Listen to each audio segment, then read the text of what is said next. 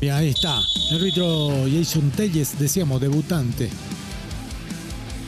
Y acá llegaba Tomayapo, Graneros, que jugó un buen partido, que estuvo, que no estuvo cerca del gol, hizo goles, pero bueno, le anularon dos por posición adelantada. Acá este zurdazo de Ortiz que aproximaba también al gol al dueño de casa. Se va desviado el zurdazo. Pisano, la figura del partido. Pared con José Vargas. Trató de colocarle al argentino. Y ahí Pedro Galindo para evitar la conquista del equipo cochabambino de Villa Tunari. Remate de Ali de fuera del área que complicaba un poquito al arquero paraguayo Escobar. Así terminaba la primera etapa. Y en el segundo tiempo mucho más agresivo el dueño de casa. Cañete le hizo bien al ataque. Aquí justamente el argentino remata cruzado. Cerca, cerca del gol, de la apertura. Pero no se quedaba atrás Tomayapo de tanto en tanto este remate cruzado. Otra vez Granero, ¿no? Que inquietó bastante a la saga del equipo local.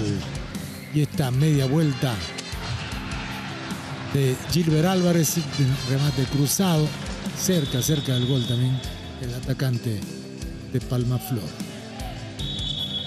Otra chance para el dueño de casa. Que un despeje a medias. La pelota le va a llegar a Pisano. Acá, de luego de tantos cabezazos, como venía, le pega el argentino. Y el travesaño que devuelve la pelota. Cerca, cerca del gol, otra vez Palma Flor. Pero otra vez reaccionaba Tomayapo. Acá llega Graneros, remata gol. Sin embargo, al árbitro le dicen, ojo, que volvía de la posición adelantada. Y era cierto, ahí estaba. Graneros adelantado que definía. pedía el bar. Y acá, tras esta jugada, esta jugada de contragolpe, gran acción de Graneros, gambetea, cucharea la pelota, le pega bien abajo, por arriba del arquero, pero nuevamente el VAR se opone en su camino.